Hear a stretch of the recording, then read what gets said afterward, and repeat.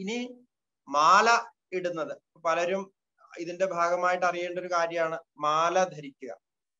രുദ്രാക്ഷമാല ധരിക്കുന്നവരുണ്ട് സ്ഫടികമാല ധരിക്കുന്നവരുണ്ട് തുളസിമാല ധരിക്കുന്നവരുണ്ട്. ഇപ്പോ രുദ്രാക്ഷമാല സ്ഫടികമാല തുളസിമാല അങ്ങനെയുള്ള മാലകൾ നമ്മൾ ധരിക്കുമ്പോൾ ഒന്ന് ഇത് ഇടുന്ന സമയത്ത് രുദ്രാക്ഷമാലയാണെങ്കിൽ ശിവമന്ത്രം ചൊല്ലിയാണ് ധരിക്കേണ്ടത്. അതുപോലെ അത് ഊരി വെക്കുന്ന സമയത്തും ശിവമന്ത്രം ചൊല്ലി ഊരി വെക്കണം. രുദ്രാക്ഷാണെങ്കിൽ കാരണം രുദ്രാക്ഷം ശിവന്റെ സ്വരൂപമാണ്. ഓരോ രുദ്രാക്ഷ മണികളും ഓരോ രുദ്രന്മാരായിട്ടാണ് കണക്കാക്കുന്നത്. രുദ്രന്റെ അക്ഷം എന്നാണ് പറയാ. അപ്പോ അത് ശിവന്റെ ഇതായി. ഇനി തുളസിമാല പോലുള്ള മറ്റു മാലകളാണ് ധരിക്കുന്നതെങ്കിൽ തുളസി മാലയ്ക്ക് വിഷ്ണു മന്ത്രം തുളസി ദേവിയുടെ മന്ത്രവും വിഷ്ണുവിന്റെ മന്ത്രവും.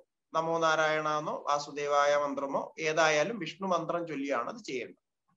ഇനി മാല ധരിക്കുന്നതിന് മുമ്പ് ഇപ്പൊ നമുക്ക് പുതിയ മാല കിട്ടിയാൽ രുദ്രാക്ഷ മാലയാണെങ്കിൽ അത് ഏതെങ്കിലും ശിവന്റെ അമ്പലത്തിൽ കൊടുത്ത് പൂജിച്ച് ശിവവിഗ്രഹത്തിൽ ശിവലിംഗത്തിൽ സ്പർശിച്ചെടുക്കുകയാണ് അതിന്റെ ഏറ്റവും ഉത്തമമായ വിധാന രീതി ധരിക്കുന്നതിന് മുമ്പ് അങ്ങനെ ചെയ്യാം. അപ്പോ അത് ധരിക്കാം. അതുപോലെ തന്നെ ധരിക്കുമ്പോഴുള്ള നിയമം. ഒന്ന് രുദ്രാക്ഷമാല എപ്പോ നമ്മൾ ധരിച്ചിരിക്കുന്നു. ഒരിക്കലും രുദ്രാക്ഷമാലയോ തുളസിമാലയോ ധരിച്ചുകൊണ്ട് ശൗചാദി നിയമങ്ങൾക്ക് ബാത്റൂമിൽ പോകാൻ പാടില്ല. ഇത് വ്രതം എടുക്കുന്നവർക്ക് പ്രത്യേകതയാണ്. ഇപ്പോ ശബരിമല പോകാനൊക്കെ വ്രതം എടുക്കുന്നവരുണ്ട് വ്രതകാലത്ത് ഈ നിയമം ബാധകമല്ല. കാരണം ഈ വ്രതധാരത്തിലും വ്രതധാരണത്തിൽ മാലയിട്ടിരിക്കുന്നത് ദീക്ഷയായിട്ടാണ് മാലയിട്ടിരിക്കുന്നത്. ദീക്ഷ എന്ന് പറഞ്ഞാൽ അത് ഇട്ട് കഴിഞ്ഞ് ഊരുന്നത് വരെ അത് കഴുത്തിൽ തന്നെ ഉണ്ടായിരിക്കണം എന്നുള്ള സങ്കല്പമാണ് ദീക്ഷാമാല എന്ന് പറയുന്നത്. അത് പണ്ട് ദീക്ഷ എടുക്കുന്ന രീതി ഉണ്ടായിരുന്നു. ഇപ്പൊ ശബരിമലയിൽ പോകാനായിട്ട് ദീക്ഷ എടുക്കുമ്പോൾ മാല ധരിക്കും. ആ ദീക്ഷയുടെ സങ്കല്പത്തിലാണ് മാല ധരിക്കുന്നത്.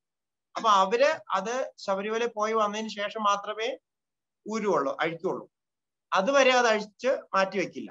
പക്ഷെ സാധാരണ നമ്മൾ കഴി ചെയ്യുമ്പോൾ ആ മാല ധരിച്ചുകൊണ്ട് ഒരിക്കലും ബാത്റൂമിൽ പോകാൻ പാടില്ല.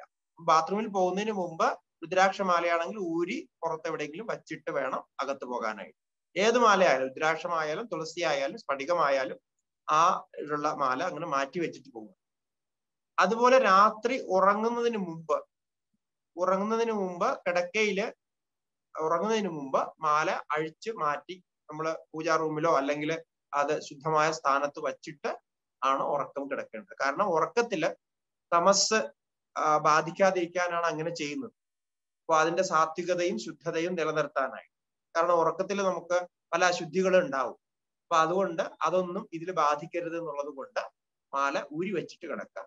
എന്നിട്ട് രാവിലെ കുളി കഴിഞ്ഞിട്ട് വീണ്ടും മന്ത്രം ചൊല്ലി ഈ മാല ധരിക്കാം.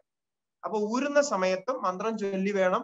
മന്ത്രം ചൊല്ലി പ്രണമിച്ചുകൊണ്ട് വേണം മാല ഊരി വെക്കാനായി അപ്പൊ ഇത് ഇത് സംബന്ധിച്ച് പറഞ്ഞു എന്നുള്ളൂ പിന്നെ ശരീരത്തിൽ മറ്റ് ഭസ്മധാരണ വിധി വിസ്തരിച്ചിട്ടുള്ള വിധിയുണ്ട്. അതിപ്പോ നമ്മൾ ഇവിടെ പഠിക്കുന്നില്ല. അത് പ്രത്യേകിച്ച് നമ്മൾ ആരുടെങ്കിലും അങ്ങനെ ദീക്ഷയൊക്കെ വാങ്ങിക്കുന്ന ഗുരുക്കന്മാരുണ്ടെങ്കിൽ അവരുടെ അടുത്ത് പോയിട്ട് മനസ്സിലാക്കേണ്ടതാണ്. വിസ്തരിച്ചിട്ടുള്ള രീതി.